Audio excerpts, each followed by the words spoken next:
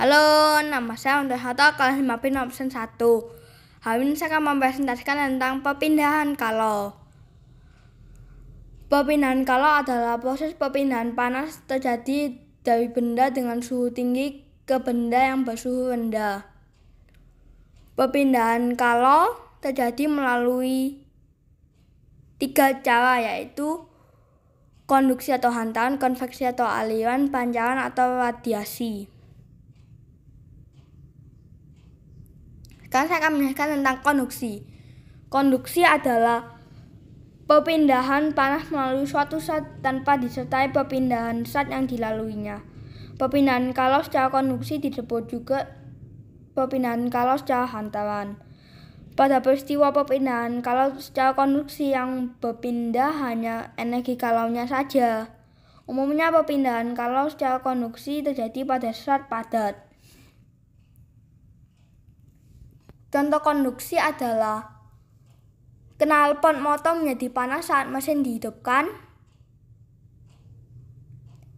Besi yang dipanaskan ujungnya akan menghantarkan panas ke seluruh besi.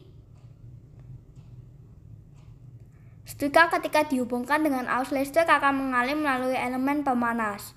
Panas dari elemen akan pindah ke bagian alas besi setrika yang tebal. Minyak akan panas jika diletakkan di atas wajan yang sedang dipanaskan di atas kompor. Sekarang saya akan menjelaskan tentang konveksi. Konveksi adalah perpindahan panas melalui suatu zat disertai dengan perpindahan zat yang dilalui. Umumnya peristiwa perpindahan kalau secara konveksi terjadi pada zat cair dan gas. Konveksi mengakibatkan zat yang menerima kalau akan memuai dan menjadi lebih ringan. Konveksi mengakibatkan zat yang ringan bergerak ke atas dan zat yang ada di atasnya akan menggantikannya.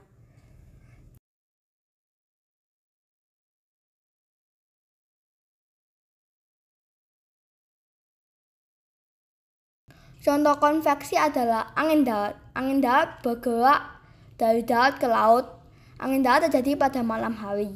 Angin darat terjadi karena udara di darat pada malam hari lebih cepat dingin daripada udara di laut.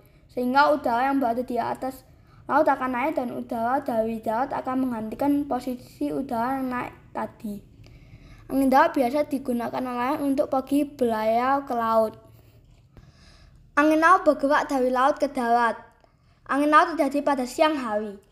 Angin laut terjadi karena pada siang hari daratan lebih cepat panas dibandingkan di laut, sehingga udara di darat akan naik dan udara dari laut akan mengalir ke darat menggantikan tempat udara yang naik tadi.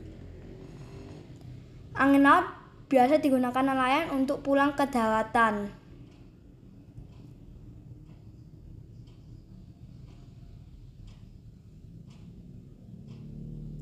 Peristiwa mendidihnya air yang direbus penggunaan cerobong asap pada pabrik. Sekarang saya akan menjelaskan tentang radiasi. Radiasi adalah perpindahan panas tanpa zat perantara. Contoh radiasi adalah panas matahari sampai ke bumi walau hanya melalui ruang hampa. Tubuh terasa hangat pada saat berada di dekat sumber api. Menetaskan telur unggas dengan lampu.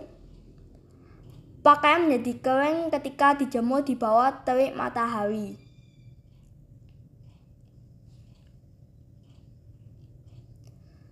Sekian penjelasan tentang perpindahan kalau dari saya. Terima kasih. Bye bye.